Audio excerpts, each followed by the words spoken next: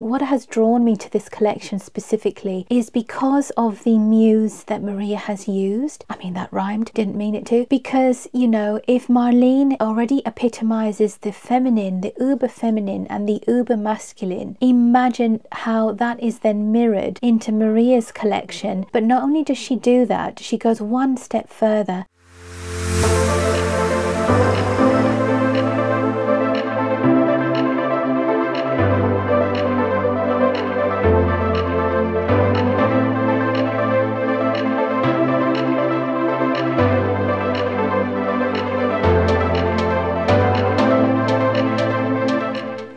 Everyone, welcome back to my channel. If you're new here, my name is Kara and I'm from London.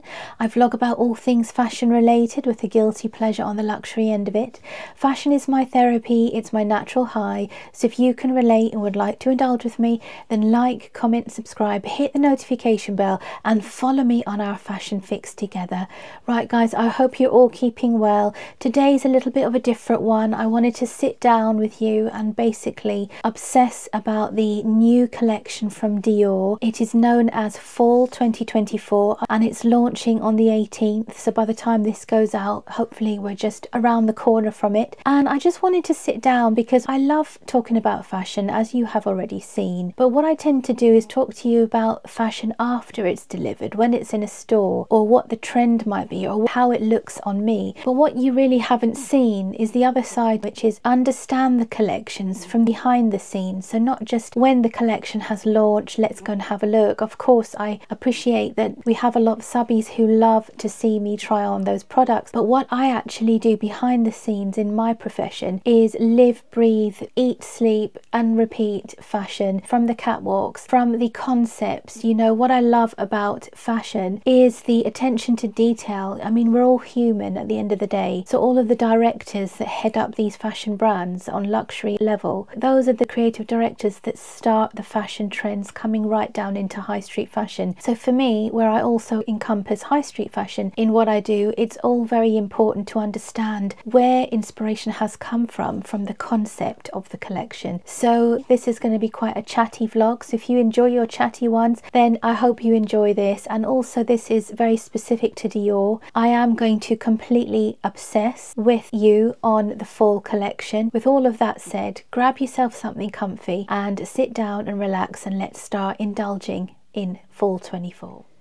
Right guys, I hope you're sitting comfortably because we've got a lot to pack through and I just want to get into this. I have got so much I want to talk about, so I hope you are going to enjoy this chatty one today. So starting with the fact that the collection went live just yesterday. It's been festering in my mind since then. So at one o'clock in the morning in the UK, I was there watching it on Instagram and YouTube, getting two different angles. It went live from the Brooklyn Museum. I mean, what a venue. It's the home of feminist art. And I just wanted to talk to you about my thoughts about it before I get into my favourites because one thing about me is I love the stories behind a collection. It's not just, oh, let me see the new bar jacket, oh, let me see how the jeans fit on my figure. Those are things that I do afterwards once the collection is in the boutiques for you to buy and feel and try on. But what I love is investing the time in the attention to detail and work that a creative director has done. You know, we're all human at the end of the day, but the genius geniuses of these directors, they plan their collections probably years ahead. I don't know how long Dior, particularly Maria, plans her collections, but I'm sure she is picking up inspiration everywhere she goes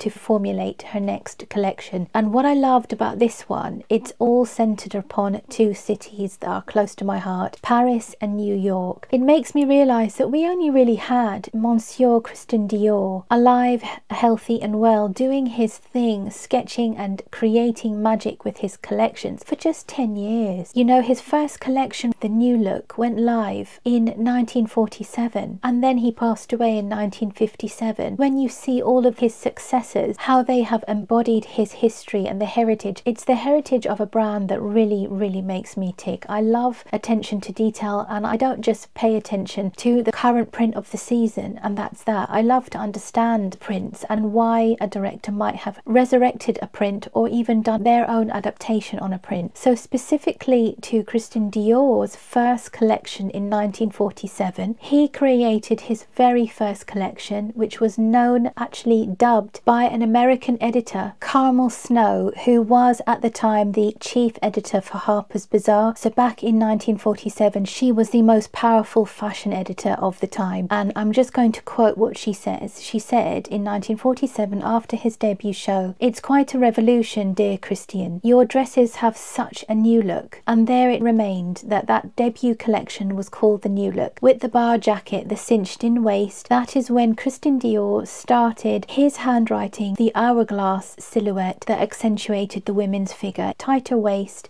and the X shape of the female figure. And the reason I mentioned the history there is because I don't think everyone really will remember that we've only actually had Christian Dior himself for just those 10 years. So many other creative directors, Gabrielle Chanel, for example, have had decades on Dior. So when I saw the collection on Tuesday, it made me dive back into the past just to understand once again how the concept of his original collections back then has played such an important role in Maria's collection today. And the reason I talk about the history there is because for me it's very important. When I saw the collection on Tuesday and I saw that Maria's muse heavily inspired her collection is Marlene Dietrich, the 1920s to 19, well, she lived till she was age 90, so let's not count all the decades on this channel. But from the legendary actress and singer Marlene Dietrich, I started to delve back into my knowledge and the history of Dior. And I just wanted to highlight that, that he we only had him for 10 years, but imagine how much he did in those 10 years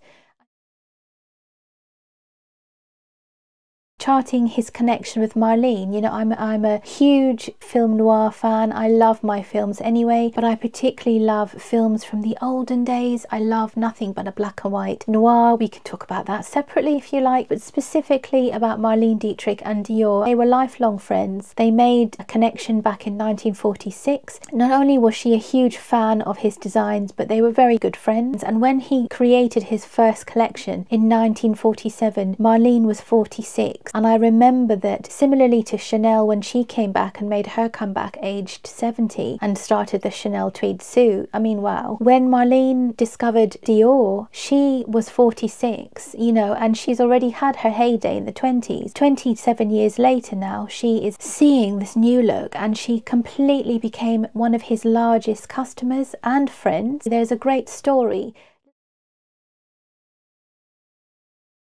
Little history lesson on film that is connected to Dior. Marlene Dietrich was approached by Alfred Hitchcock for the film Stage Fright, and that was in 1949. So just imagine, this is why I keep harping back to the fact we only had Dior himself for 10 years. Imagine he was only two years in since he debuted his first collection in 1947, and he's being approached by Marlene Dietrich to design her costumes for a film. Now, let me just lead into this story as quickly as I can, but it is a lovely story, so I don't want to rush it. I did say this would be a chatty one. Now, paint the picture for you. We're now in 1949. Spring Summer collection is being designed by Dior, and Marlene Dietrich, who is now his very close friend, contacts him and says, I've been offered a job as the lead actress Charlotte Inwood from Stage Fright by Sir Alfred Hitchcock. As someone who absolutely adores Alfred Hitchcock, please go and see it. If you haven't, then we're talking on the same wavelength. Marlene has basically said, I want you to design all of my costumes. So she takes that to Hitchcock and Warner Brothers. And of course, you know, it's Dior. It's not going to be cheap, is it? There was resistance between Hitchcock and Warner Brothers. So she delivered her very famous line, which is no Dior, no Dietrich. I mean, when a woman of power says that and Hitchcock wants you as your lead actress, what are you going to do? You're going to say yes, aren't you? Apparently, they negotiated a deal with the costumes with the House of Dior, and the piece de resistance of that story is when you look at Stage Fright, you will see Marlene. Now, we're going to talk about Marlene briefly in a moment as well, or actually, not briefly at all. We're going to talk about Marlene properly in a moment. Marlene Dietrich not only wears the beautiful gowns that she and Dior designed, apparently, she would actually choose the fabrics and the colours with Dior and send them to London for Hitchcock and Warner Warner Brothers to see before they put them into work. Obviously, it's his film. So when you see that film, or if you want to rewatch it, I'm rewatching it on Saturday. That's that's done. You will see a balance of Dietrich wearing Dior's gowns and Dietrich wearing Dior's suits. Now we're going to get into Dietrich now. In fact, grab a little cup of tea, reboil the kettle, and I'll be back. Right, guys, let's talk about Maria Grazia Chiuri's muse of the collection, Marlene Dietrich. Now, if you are a film buff like me, you will know the ins and outs of this already, but if you don't, then bear with me, let me introduce you to Marlene. So, Marlene, she lived a very long life, 90 years old. She passed away in 1992. She was a legendary actress and a singer, and two of my particularly favourite films of hers not only is Stage Fright, but it's also Witness for the Prosecution. Now, if you don't know about Marlene, the very simplest thing to tell you is she was not only an uber feminine beautiful, glamorous woman who loved to wear glamorous dresses and exude her femininity. But she would wear men's suits, men's tailoring. She would pair trousers with shirts. She'll put a cigarette in her mouth, wear a hat. She'll cross her leg like a man would cross his legs. So she did push the boundaries. And remember, we're talking 1940s, which is very much pre and post war. So pre war, you were expected to be wearing a dress. You were expected to be wearing very feminine, elegant clothes. But Marlene pushed the boundaries and totally loved wearing menswear or men's suiting. And as Stage Fright shows you, she did wear suits designed by Dior. And what I love about how Maria has picked Marlene as her muse takes the history and heritage of Christian Dior's new look and era from the late 40s and brings it right to the front of the fore now, 2024 we're in, and makes it new and fresh mixing in Maria's personal love of androgynous fashion and menswear and masculinity with the femininity of Christian Dior. And by picking the muse of Marlene Dietrich, she herself epitomizes the vision that Maria has for fall 2024. I think what has drawn me to this collection specifically is because of the muse that Maria has used. I mean, that rhymed, didn't mean it to. Because, you know, if Marlene already epitomizes the feminine, the uber feminine, and the uber masculine, and she juxtaposes that within a film such as Stage Fright, imagine how that is then mirrored into Maria's collection. But not only does she do that, she goes one step further. So we've already talked about Christian Dior and Marlene Dietrich and the history and the fusion of their friendship and how important Dior was to Marlene, and then paired back the importance that Maria places on Marlene for her current collection. But let's talk about the importance that I think Maria has placed on Paris and Parisian chic and New York and Americana. So, keeping with the timeline in 1947, if you imagine now Christian Dior's gone to New York, he's wowed the chief editor of Harper's Bazaar, then that's going in all the tabloids, and everyone is hearing about him now in America. He's flying back to Paris and he's now working on his next collection. But what do you think he's now got in his head? The Americana influence, the streetwear, the relaxed dressing, the importance of sportswear, you know, wearing your clothes with a little bit more of a dressed down approach, but still looking incredibly chic. That's the notion of where he then took his inspiration and bringing in the American influence. And what I love about Maria bringing it back full circle into her current collection for fall 2024 is she has come full circle taking the heritage of Christian Dior's new look, the heritage of Christian Dior's American influence, the muse of Christian Dior's friend Marlene Dietrich. I mean, how many nuances can you have that makes this collection so fresh? And that's why I keep keep thinking about fall 2024. There's so many preconceived ideas that you should dress a certain way when you go to a certain city. Of course, the notion that Paris is very chic and New York is very street and cosmopolitan, you know, you could say there's beauties in every city. So by fusing two very different cities together in one collection is what I loved about this collection. And we are going to get into Maria's vision now and her pieces and my favorites on the next leg. So grab something else to drink and I'll see you in a minute. I've given you a brief history lesson. I hope you're still with me. You know, I love talking, as you can see, on fashion, especially heritage fashion and what it means to today. So Maria Grazia Chiuri, she's taken the Americana influence, mixed it with Parisian chic, the beauty of Paris, and she has created her own, in my opinion, her own new look for Dior, and I love it. I think it's great. I think the current collection is wearable, it's timeless. There are so many pieces I'm thinking of right now that I could wear. If you haven't already seen it, have a look at it, put on YouTube and enjoy because it's all about the journey that you will be taken on this. And I'm telling you this fresh out of my own head. Let me just remind anyone who's watching this I don't get paid by Dior to speak about Dior. This is not an advert in any way whatsoever. This is just someone who absolutely loves fashion, the brand, and what they mean for fashion. I have a curvy figure and I think the handwriting really sits well with me, and I just love New York and Paris. Let me try and narrow it down to my top 10 favorites because otherwise this vlog will be forever long. Right, guys, so this is the final part of the vlog. We're now going to look at my top 10 favorite looks of the collection plus two extra wild cards, and I'll explain why in a moment. But the beauty of this collection for me, if I haven't already said it, is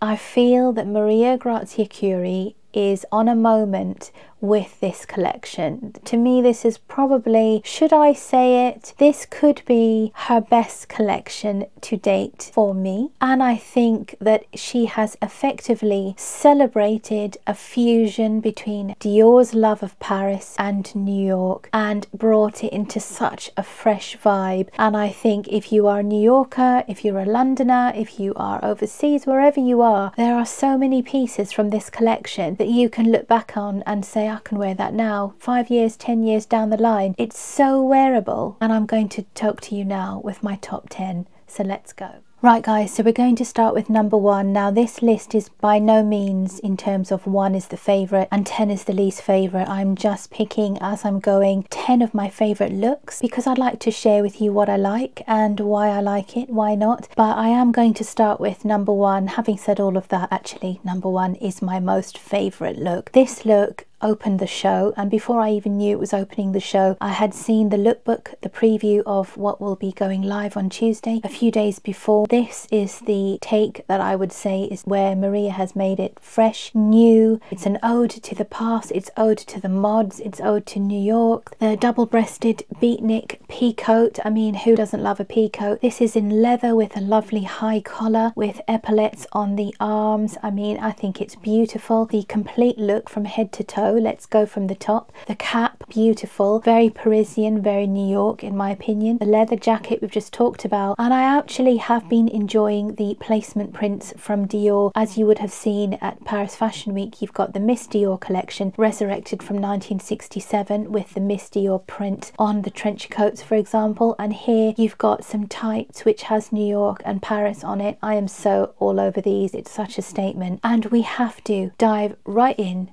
to the bag. This is the saddle bag with the most beautiful John Galliano newspaper print. Ah, I'm getting Carrie Bradshaw vibes, Sex and the City vibes, when she wore that infamous dress. This is by far my favourite piece from the entire collection, although I do want to see it in real life because it is technically a white bag and we do have to be careful unless we are going to be wearing it like how the model is holding it and not putting it on a black leather jacket. We don't want colour transfer, but this bag to me is the piece de resistance for the collection. And now look number two, I'm putting three dresses together because because the category of what I love as look 2 is the black dress which is the key feature of the collection. So showing you the first one absolutely love this with the deep V. This is in ode to the abandoned dress from the 1940s Dior's original dress. And it's also in homage to Marilyn Monroe who also wore a very iconic dress. Sadly her photo shoot was also in the same year that she passed away 1946 going back to the collection so you've got three beautiful beautiful black dresses. I think they all are equal as they are standing side by side. There isn't one that's any less than the other, so love those. Now look number three I love because this is also a heritage print that Maria has resurrected. This is an ode to the US bicentennial year in 1976 where this print was originally on a Dior scarf. So Maria has resurrected the print and put it in street style New York sportswear. I mean look at it, it's so cool. With the wide leg trousers and the sneakers. Maria herself said she would look and observe New Yorkers and very often you will find a New Yorker wearing her sneaks for her day to day and she'll probably have her high heels slung over her bag ready for the evening. So I love this look. And then look four, keeping with the sportswear theme. I just think this is so cool. It's so wearable. You don't have to wear it as top to toe. I love how Maria has put the Dior oblique print into this oversized sportswear anorak style top. For the girls who love the Dior anoraks, this would be great for you because you can see there's a drawstring on the hem and I'm pretty sure there'll be a Christian Dior band going alongside the side seam with the elastic trim on the neck. I think that's elastic anyway. And I do love these trousers. The thing is for me, I'm too short to ever wear these because if you look at the bottom, there's a split. So unless I could probably get this altered, but I have been looking at these styles for a while. So I love this. I think it's so fresh. And then keeping with my favorite favourite. This particular style is very much Marlene Dietrich, so Maria did epitomise some of her collections in Ode to Marlene with the shirt, the coat and tails and the shorts. She's made it fresh and unique by putting shorter lengths with the more iconic tops to make it more current. And then I love the fluidity of this evening dress. This is all about the fringing, which reminds me of the 1940s, the golden era of film, like I've said before. And to make it even more chic is throw on one of the oversized blazers that you will see in this collection as well. This next piece, this is to me a real great move on from the bar jacket. Who wants to move on from bar jackets? Not me, but I love this because it's a four pocket fitted blazer by the looks of it. It's been cinched in with a belt and it looks like she's wearing it over a pair of shorts. I love this look. If I had the legs for this, I would so be on this. And I love how she's paired it back with these lace up, very 40s inspired espadrille high heel shoes. Right guys, number eight. Now this is my favourite print in the collection. So I've gone with Paris. You also have the New York skyline as well with the Statue of Liberty on tote bags and trench coats as well. I think it's beautiful and that's on the black base and the Paris prints are on the white base. And I just think this is so beautiful. Even the way that the model has had her hairstyle, it's very Marlene Dietrich, very in touch with the time and the era. I mean, the way that the model came out and stepped down those stairs as well with the walk and the poise. I absolutely love it. So I love this print and that's my favourite look number eight. Now look number nine, let's go with this one. I've got two left. Now I think probably this might be quite divisive because one could argue it's just a shirt, tie and trousers. But if you haven't tried on Dior tailoring, then please try on Dior tailoring before you say that because as you all have seen with my numerous Dior try on vlogs, I do love me a piece of Dior tailoring, especially when it's from the 30 Montaigne collection. I don't know if they're going to categorize these trousers into 30 Montaigne, which is their essential collection of capsule tailoring. But what I loved about this is look at the waist, guys. It's so high waist. This is beautiful. And I think for someone with curves like myself, this would be lovely. I love the deep pleating on the front and I love the sheen of the fabric that's been used. I believe this will probably be wool and silk. And this shirt, I'll need to try it on to see the fit, but I'm sure it's going to have some form of new fit to their classic 30 Montaigne shape shapes and then you've got the new bag with the gold handles and that leads me to my final 10th items. I do have to pick a New York print. We have to. If we love New York we have to. Now if I was to choose to buy the sportswear from this collection I think this piece is more of a collector's item piece as opposed to your oblique print which is from the earlier image I showed you. So I quite like that Maria's chosen to put the New York skyline on a black base. To me it's moodier and you could easily wear this all the way through autumn winter. I think it's so easy and I love that she's paired it back with that oversized hat again, very Paris on her hat and very New York on the bottoms. So that's my top 10, but in no particular order. So this is my first wild card. Now, why I didn't pick this as my top 10 is because there's too many to pick from. But what I loved about this is I love the vintage ode to this jacket. Now, I'm not sure if they're going to call this the bar jacket. This might also just be called the fitted jacket, but I love the peplum style on the hips cinched in from the waist because that extra bit of fabric known as the peplum gives you even more of a silhouette from the original Christian Dior new look and I think that's beautiful so I've actually picked this look as wildcard number one purely for that jacket.